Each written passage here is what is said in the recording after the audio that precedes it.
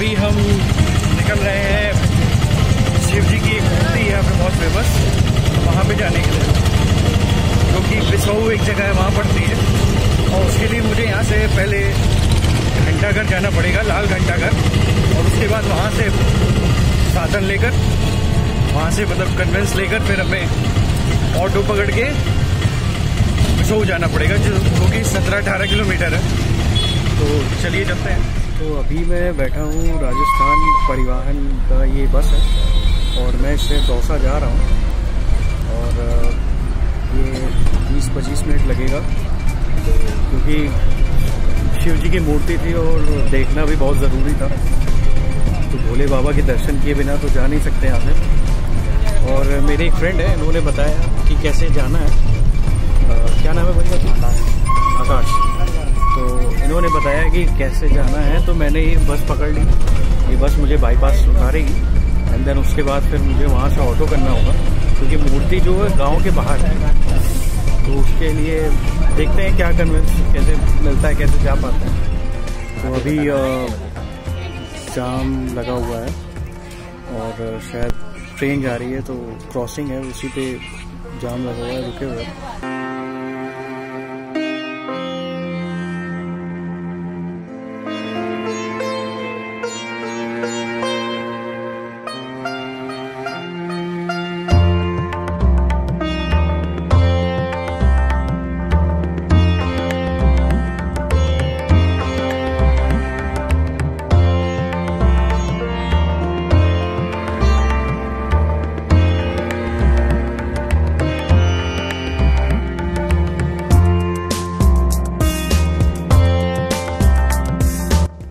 हाय दोस्तों तो अभी मैं हूँ बिसाऊ में और मेरे पीछे आप देख सकते हो, ये जो मंदिर है, ये मतलब शंकर जी की मूर्ति है, बहुत ही बड़ी और विशाल मूर्ति है।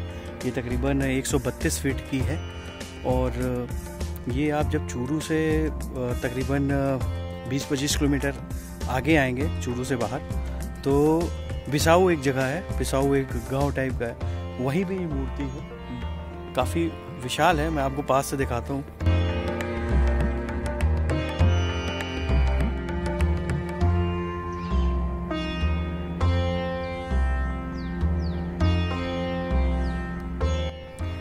यही शंकर जी की मूर्ति है और बहुत ही भव्य और विशाल है।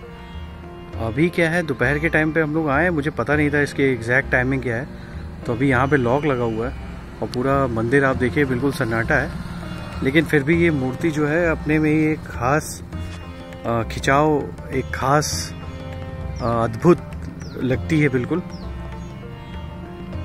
ये मूर्ति अपने में एक अद्भुत है और काफ़ी विशाल है, एक सौ बत्तीस फीट ऊँची मूर्ति है। तो भोले बाबा यहाँ पे शंकर जी त्रिशूल लिए खड़े हुए हैं। तो अभी तो फ़िलहाल यहाँ पे मंदिर बंद थी और बाहर से ही मैंने दर्शन कर लिया और अब मैं वापस की साइड जाऊँगा। तो अभी हम आ चुके हैं, ये चूरू में बहुत ही फ़ेमस शॉप है। राठौर लॉज करके एक शॉप है यहाँ पे और काफ़ी फ़ेमस है। और बिल्कुल अभी मैं यहाँ पर आया हूँ। सबसे पूछ के मुझे पता चला कि चूरू का सबसे फ़ेमस जो रेस्टोरेंट है, वो यही है, राठौर लॉज करके। और जैसा कि आपने देखा, इनकी बहुत ही पुरानी शॉप है। लाइक नाइनटीन एटी से इन्होंने इस्टेब्लिश किया खुद को। और काफ़ी शुरू से स्टार्ट किया था, नीचे से। बट अभी इन्होंने काफ़ी ऑर्गेनाइज कर लिया अपना। और ज़्यादा दूर नहीं है, अगर आपको यहाँ पे आना है तो आप स्टेशन से बस अड्डे आइए। स्टेशन के आगे पुराना बस अड्डा है एंड जस्ट उसके आगे ही ये शॉप है। तो मैं टेस्ट करने जा रहा हूँ। मैंने सबसे पूछा, सबने मुझे ये एडवाइस किया कि इस शॉप पे जो है आपको हर चीज़ बहुत ही टेस्टी मिल जाएगी। तो अभी सिर्फ़ ब्रेकफास्ट करना है और मैंने ऑर्डर किया ये समोसा और इसके साथ इन्होंने सर्व किया है चटनी। तो लेट्स सी कि कैसा है ये। मैं टेस्ट करके बताता हूँ आपको। तो फ्रेंड्स ये रहा समोसा और ये है चटनी। और मैं इसको जो है इसमें डिप करूँगा। एंड लेट्स सी कि इसका टेस्ट कैसा होता है।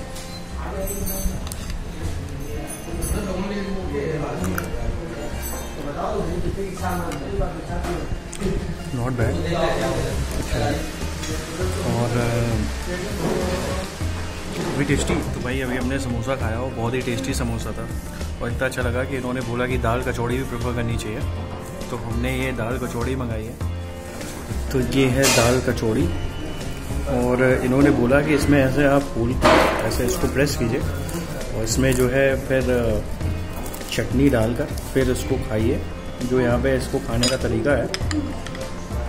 तो मैंने इस पर ये चटनी लगा दी और मैं इसको खा के देखता हूँ कि कैसी है ये। आई एम श्योर कि अच्छी होगी क्योंकि समोसा इनका बहुत बेस्ट था। तो मैंने इसको जो है तोड़ लिया पीसेस में और खा के देखता हूँ कि कैसी है ये।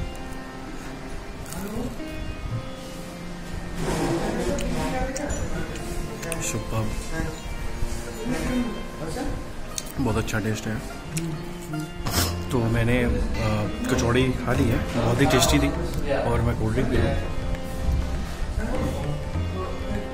इन्होंने बोला, कचौड़ी के साथ कोल्ड ड्रिंक लीजिए और अच्छा लगेगा। बहुत ही अच्छा टेस्ट था। और सिर्फ़ यहाँ पे नाश्ते के लिए नहीं, यहाँ पे आपको मेन कोर्स यानी खाने के लिए भी सब चीज़ अवेलेबल है। और डोसा, बीजा, छोला भटूरा, हर चीज़ मिलेगा। तो काफ़ी अच्छी दुकान है। कभी भी आप चूड़ू आइए तो मैं यही सजेस्ट करूँगा कि आप यहाँ पे आके इनकी इनका समोसा ज़रूर खाइए और कचौड़ी। बहुत ही टेस्टी कितनी पुरानी है आपकी ये शॉप शॉप है सर एस्टेब्लिश इन 1980 1980 काफ़ी पुरानी है। और क्या रखते हैं आप? My father was started as a tea stall here oh very good उसके बाद में उन्होंने संघर्ष किया और धीरे धीरे एस्टेब्लिश करते हैं। हम्म। अभी रिसेंट में 25 की प्रॉपर्टी है और अच्छा। 100 का रेस्टोरेंट है। तो आपने यहाँ पे मतलब hotel plus restaurant included now we having two properties in the city okay इससे बड़ा प्रॉपर्टी है हम लोग। वो कहाँ पे पड़े? सिटी से बाहर निकलते हैं अच्छा आउटसाइड है। वो वेडिंग डेस्टिनेशन के हिसाब से बनाया है। अच्छा अच्छा।